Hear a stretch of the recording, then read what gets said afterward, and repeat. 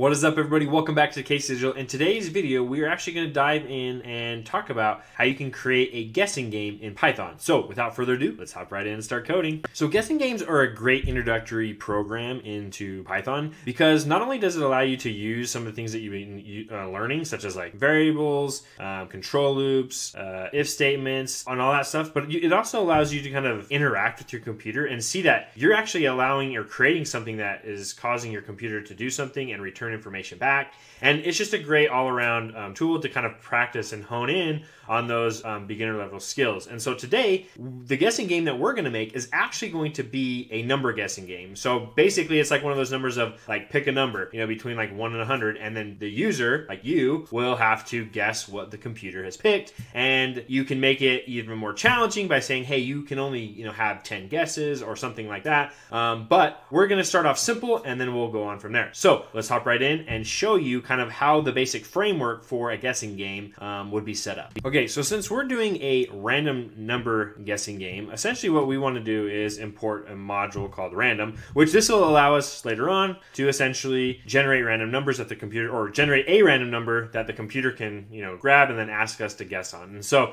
to do that, you're just going to so import and then random.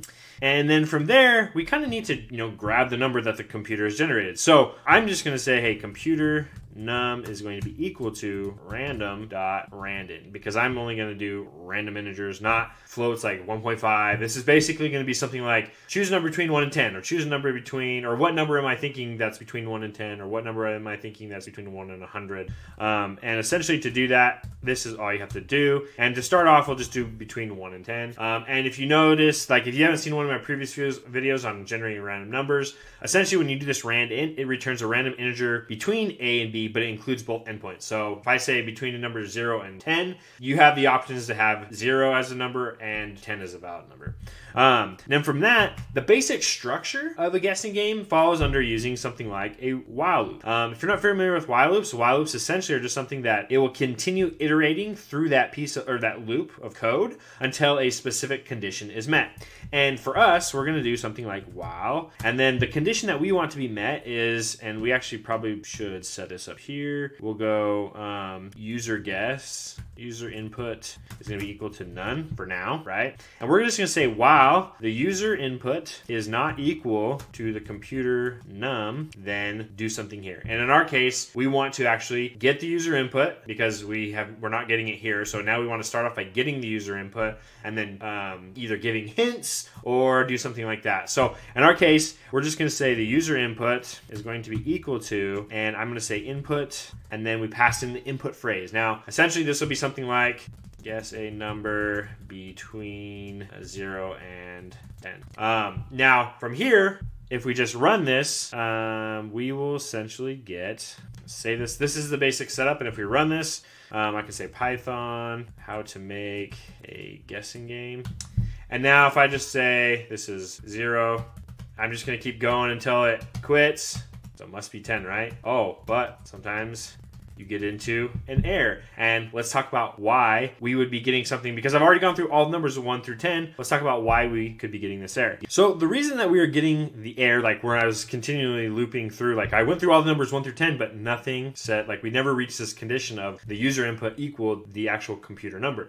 And um, if you're still stuck in that, essentially to get out of it, you just hit Control C um, in the terminal. So click in your terminal, hit Control C, and that'll take you out. But essentially, the issue is is because this input is actually returning a string. So rather than something looking like a number of 10, it's actually coming across and looking something like 10, whereas our computer is generating something as, as that looks like this, and that is, those are not equal because this is an integer, this is a string right here, and this is an actual integer. So to solve that problem, essentially all we have to do is wrap this in an int, something like this. And if we run this again, Hopefully, if I just start from zero, I can eventually work my way where I can meet the condition. And seven, there it is. So if the actual number was seven, and then the computer exited, you know, exited the program, and, and we're left with that. Now that's great, no, but that doesn't actually provide a lot of um, value. Like we don't really know like what's going on. We don't. I like it was hard to tell. Hey, that actually exited. So one thing that you can do is you can say um, after the while loop is exited. So if, if it comes down to this line, that means it's exited out of that while loop or that condition was met,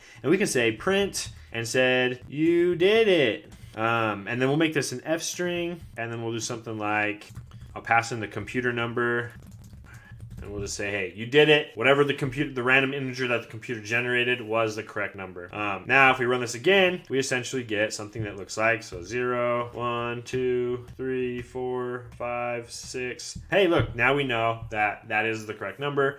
Um, but now what happens if you wanted to make this a little bit more interesting? What if we change this to between 1 and 100? Now, this is where things could get interesting you could essentially, you know, either leave it how it is because this is a perfectly valid guessing game, but you could leave it how it is, um, and then just someone would have to go through and just try and figure it out. Or you can say you can do kind of like a hot and cold game where you can something say like um, the user if the user input is greater than um, the computer number, then we're gonna say we're gonna print. Uh, this is too big else if and this is where you know getting that practice with those you know those con, uh, control statements like if else um, this is where that really comes in handy because now I can say if user input is less than computer number and you notice I'm not saying like greater than or equal to or less than or equal to because if it's equal to we want it to exit the loop and we don't want to print these out and then exit the loop and say you did it because it would say something like oh too big you did it or too small you did it. We just wanted to exit and say you did it like this is great you you, you made you found the number.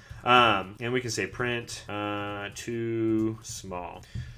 So now if I run this here, essentially I'm getting like a hot and cold game where it's like, I just know that if I get a number between one and 100, and we probably should change this here. Um, and you know what? To make this even like where we only have to really change one thing, we can say computer number, computer num, um, so that way, if we ever change, say, or no, that will actually give us the actual answer. We, if we want to say like a max and a min, we could say min value, min val is equal to zero, max val is equal to 100, and we can pass these in, and I can do that same thing here and I can do the max value there. That way, if I ever change any of this in the future, like, and I, you know, maybe I make an input at the beginning of this that asks for the user's, you know, max and min, like, hey, what range do you want to guess between? Or something like that, or what max value do you want to guess between, and then we don't have to come in here and pro, you know change this string manually, but this will change it programmatically. So if I run this, essentially you'll see something like this. If I pull this up, and now I have a thing that says, hey, guess a number between 0 and 100. Okay, so let's do 50. It says, oh, that's too small. So maybe 75. Oh, that's too big. So it's got to be between 50 and 75. Let's go 60. Oh, that's too big. Let's go 55. That's too big. Let's go 52. You did it. 52 is the correct answer. Correct answer. So there you have it, folks. That is um, a very simple, uh, hot and cold, um, how to make a, you know, basically how to make a hot and cold uh, random number guessing game.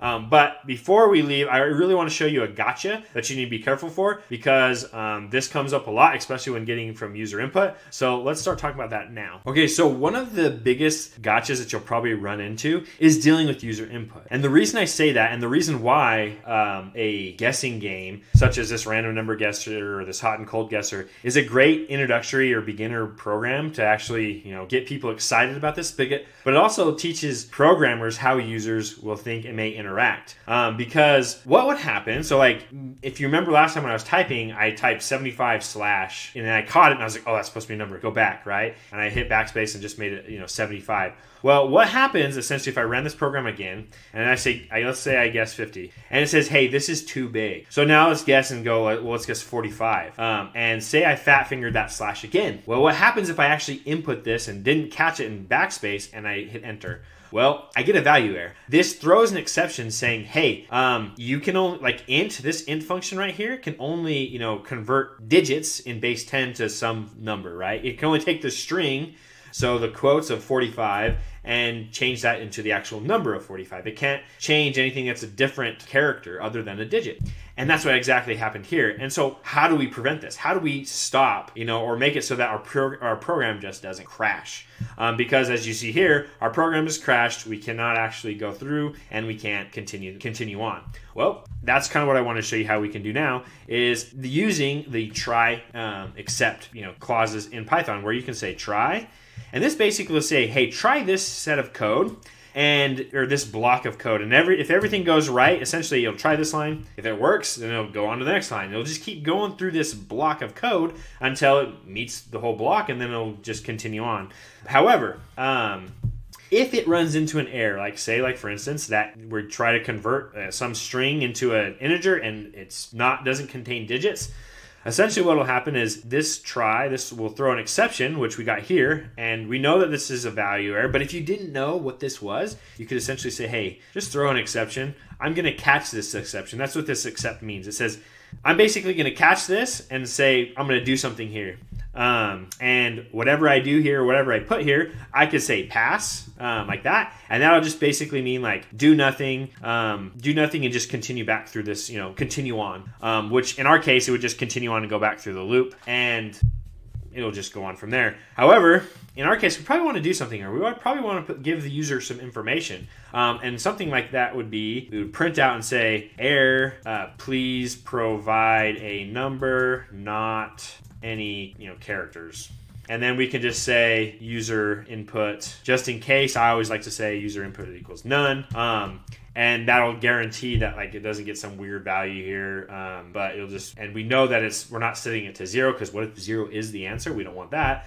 Um, so we'll just say hey that equals none and go on from there. Now if i run this and I actually say, hey, we're going to do 45. Oh, I accidentally fat fingered that again. Boom. It says error, please provide a number, not any characters. Now let's go 45. That's too big. Let's go 30. Let's go this weird string. Oh, we got another error. And let's go 10. 10's too small. Uh, 20. That's too big. 15. There it was. 15 was the right answer. So you can see how adding that try block and um, putting that, you know, around this int allows us to continue forward. Now, some might ask, well, why didn't you actually put it just around the, this user int? Because we know that's going to fail. Well, because if this fails, we know that user input is relying on a number. And so if this is not a number and this returns something like none or something like that, or, or maybe even a string, or I don't know what it returns, if it errors out, or then we get we're gonna run into an error down here when it tries to do some comparison. So it's like maybe it can't compare whatever data type it gets back to a number. Um, so we just essentially wrap all that there um, together, and from that we're able to continue and move on. So there it is, folks. That's how you make a guessing game in Python. In our case, we made a um, Um, random number guessing or hot and cold type of guessing game. So if you like this video, if it provided value, please hit smash that like button. Um, and if you have any questions, please leave them in the comments below. And one thing that you can do to add on to this, make this kind of your own, is maybe import like some sort of variable in here that says, hey, you only get 10 guesses. And then see how you can incorporate that into um, your your break condition up here or whatnot. So that way, like if they if they fail out after 10 condition or 10 guesses, then they lose. Um, and if you uh, if you would like me to continue on and do something like that, let me know and I'll add on to this video. Otherwise, try that on your own. See how see what you can do to make this your own type of guessing game. And until next time, keep on programming.